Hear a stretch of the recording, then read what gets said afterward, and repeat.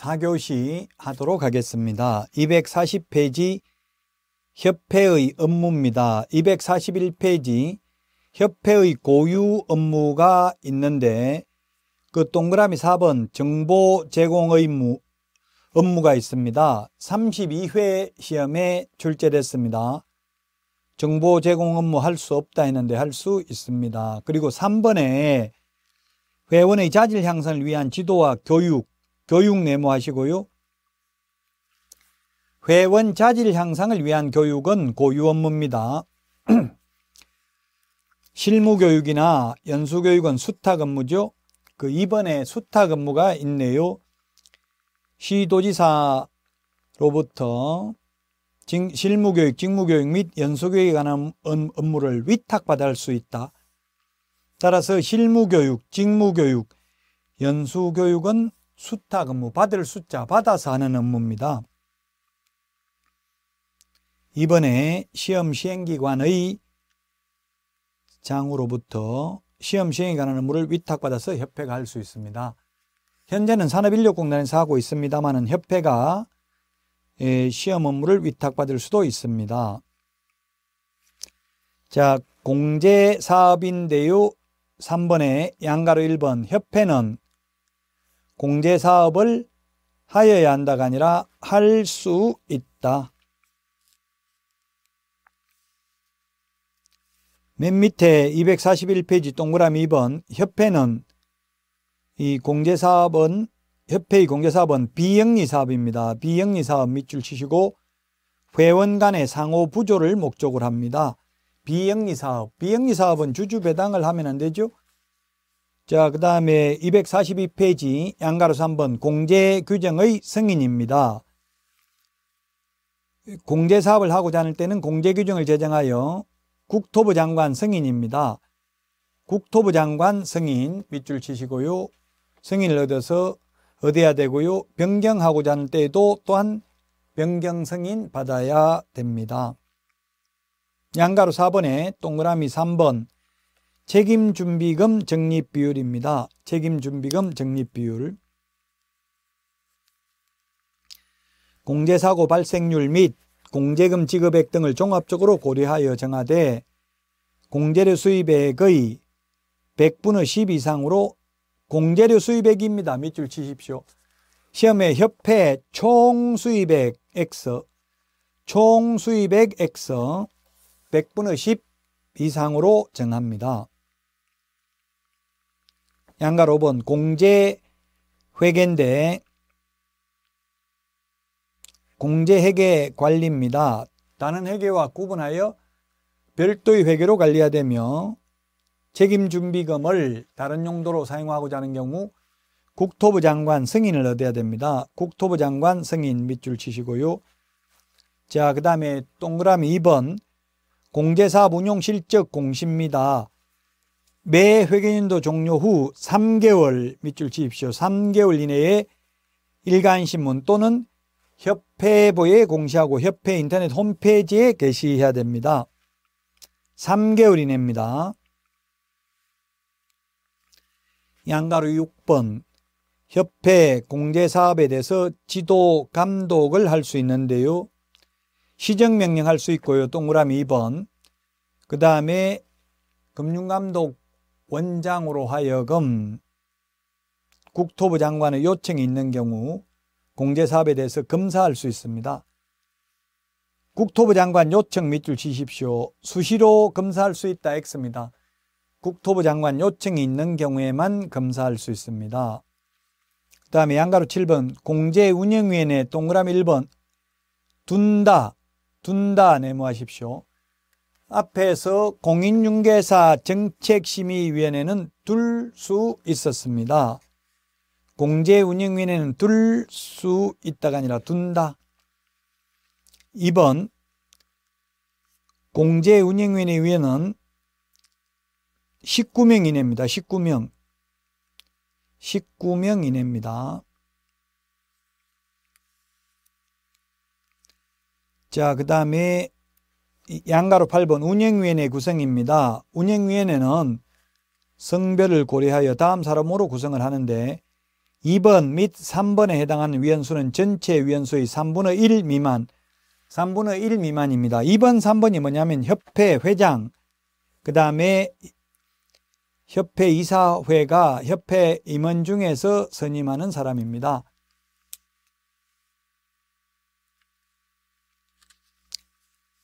그 다음에 동그라미 4번에 보면 협회 회장이 추천하여 국토부 장관의 승인을 받아 위촉하는 사람이 있는데 이거는 뭐 참고로 보시면 되겠죠. 거기 니은의 변호사, 공인회계사, 공인중개사 자격 있는 사람도 예, 공제운영위원회 위원이 될 수 있습니다.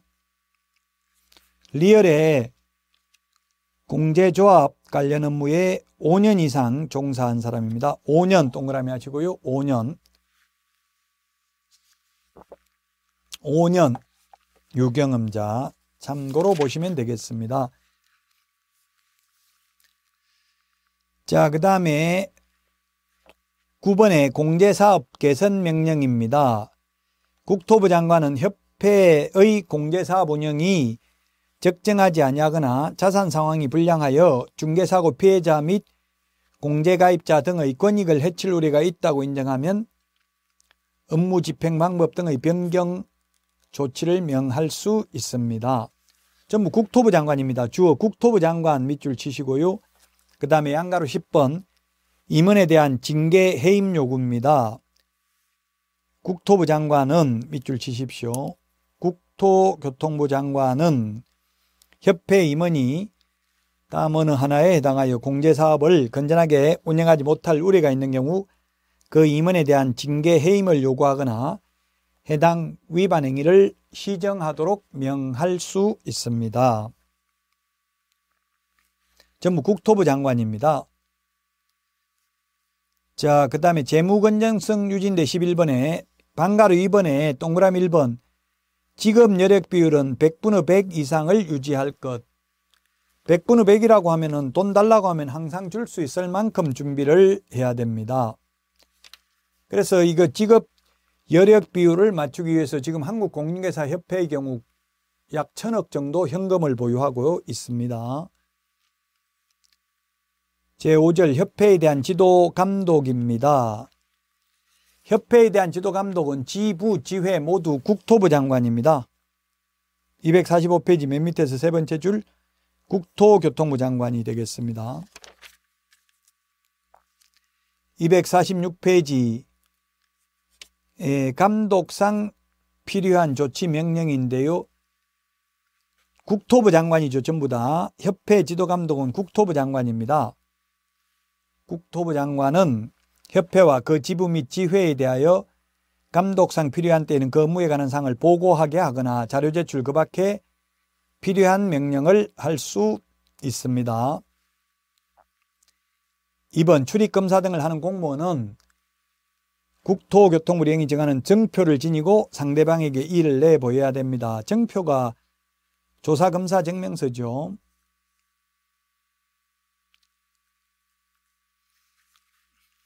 공무원증하고 조사 검사 증명서를 증표라고 합니다.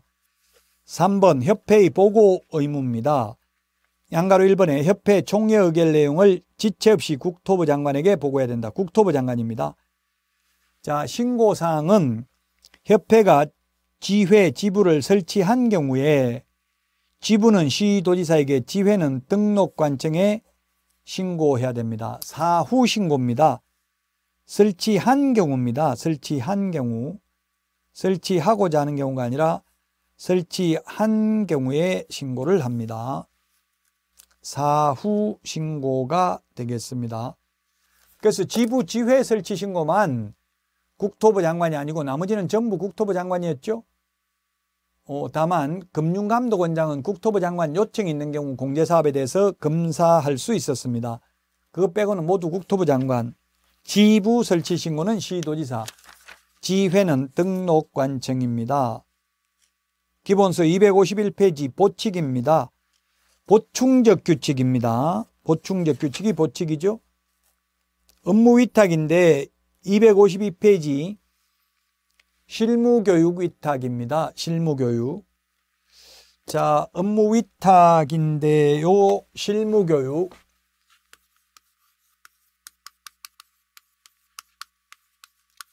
업무 위탁 첫 번째 실무 교육.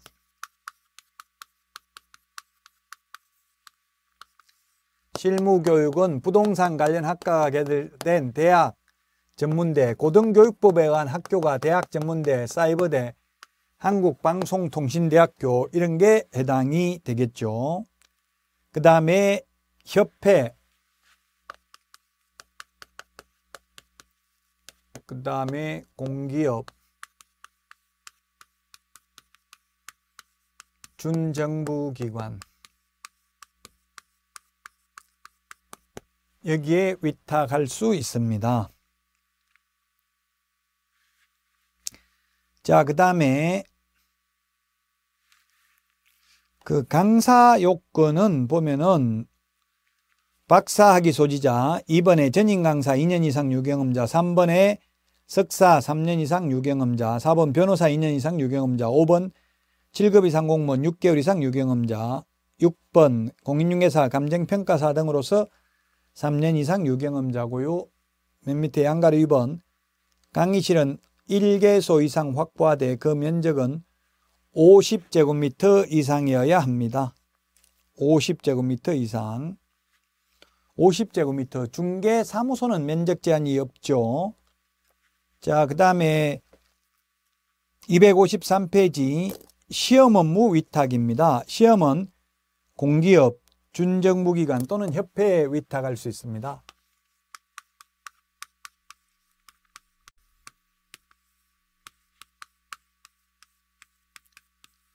시험은 공기업 또는 준정부기관에 위탁할 수 있습니다.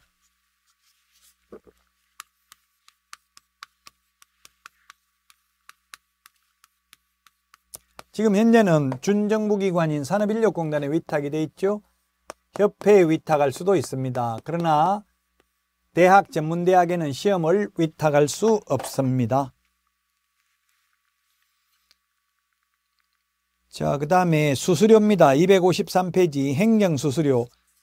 조례가 정하는 수수료 납부 대상이 되겠는데요. 예, 우리 핵심 비교 정리 프린터는 52번에 있습니다. 52번에. 52번에 보면 수수료 납부해야 되는 게 있습니다. 시험 응시 수수료. 자격증 재교부 수수료는 시도조례입니다. 시도조례가 정하는 수수료를 내야 됩니다. 자, 그런데 등록증 교부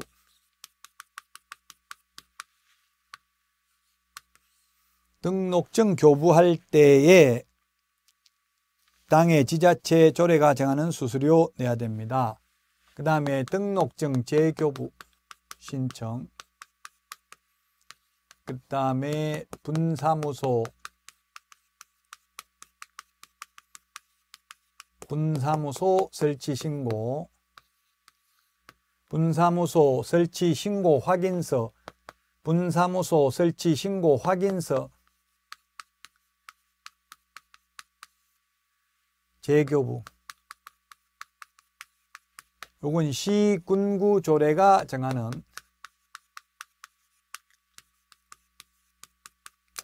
시군구 조례가 정하는 수수료를 내야 됩니다.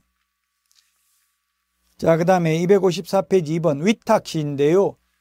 산업인력공단에 위탁했으면 위탁받은 자가 위탁한 자의 승인을 얻어서 결정 공고하는 수수료를 내야 됩니다. 254페이지 밑에 기출문제 나온 거 풀어보시면 되겠죠. 거기 3번에 있는 고용신고, 직원 고용신고할 때 수수료 내라는 말은 없습니다. 자, 그 다음에 255페이지 포상금 지급 대상입니다. 포상금 지급 대상. 우리 핵심 비교 정리 프린터는 28번에 있습니다.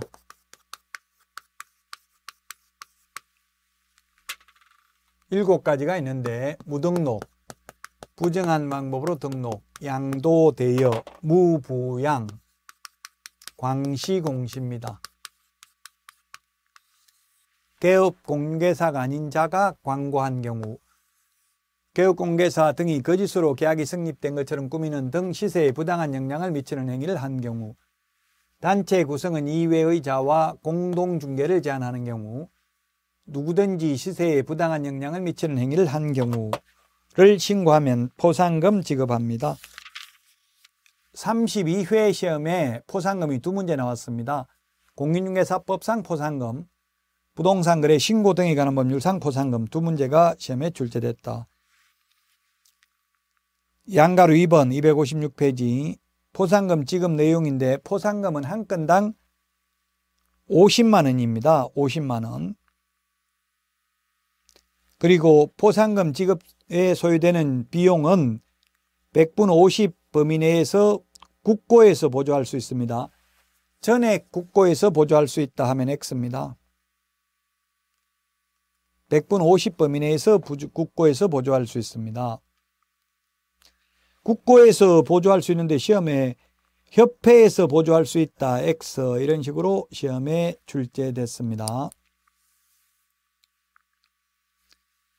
동그라미 3번 보상금은 행정기관에 의해서 발각되기 전에 발각되기 전에 밑줄 치십시오. 발각된 후에 하면 X입니다.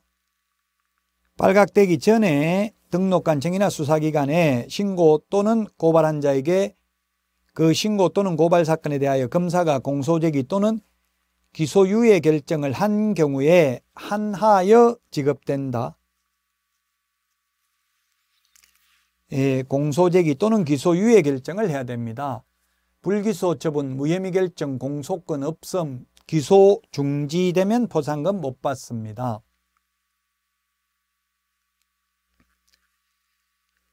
동그라미 5번 보상금 지급 신청서를 제출받은 등록관청은 그 사건에 관한 수사기관의 처분 내용을 조회한 후 보상금 지급을 결정하고 그 결정일로부터 1월 동그라미 하십시오. 1월 1월 이내에 보상금을 지급해야 됩니다. 1월 이내에 부동산 거래 신고 등에 관한 법률은 접수된 날로부터 2월이 되겠습니다. 부동산 거래 신고 등에 관한 법률에서는 접수된 날로부터 2개월 이내에 보상금을 지급합니다. 6번 등록관청은 하나의 사건에 대하여 2인 이상이 공동으로 신고 또는 고발한 경우에는 보상금을 균등하게 배분한다. 균등 배분 밑줄 치세요. 균등 배분. 2인 이상 밑줄 치시고 2인 이상이면 균등 배분. 다만 보상금을 지급받을 자가 배분 방법에 관하여 미리 합의하여 보상금 지급을 신청하는 경우에는 그 합의된 방법에 따라 지급을 합니다. 두 명이 오면 25만 원씩 주는데 만약 한 명 5만 원 받고 나머지 한 명 45만 원 받겠다 합의해 오면 그 방법대로 지급을 합니다. 7번 등록관청은 하나의 사건에 대하여 이 두 건 이상의 신고 또는 고발이 접수된 경우에는 최초로 신고 또는 고발한 자에게만 보상금을 지급합니다. 최초로 신고 밑줄 치십시오. 두 건 동그라미 하십시오. 2인 이상이면 균분, 여러 명이 같이 오면 균등하게 배분을 하고요. 한 달 전에 접수하고 한 달 후에 접수했으면 먼저 접수한 사람만 보상금을 지급합니다. 시험에는 2인 이상의 경우 어, 두 건 이상이 접수된 경우에는 균등하게 배분 균등하게 지급한다. X로 출제됐습니다. 두 건 이상이면 최초로 신고한 자에게만 보상금을 지급합니다.